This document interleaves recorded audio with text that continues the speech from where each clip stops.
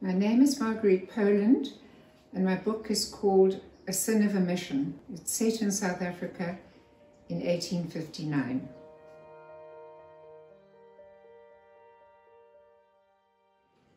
The Reverend Basil Rutherford had found him as a child.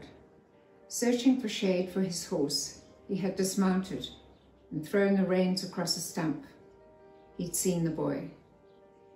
If only he'd taken another path, chosen another byway from the track, but he had not.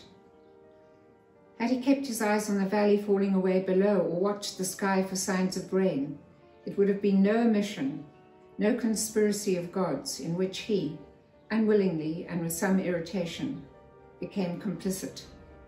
The boy was grey-tinged, a husk child, motionless in the shadow of the bush.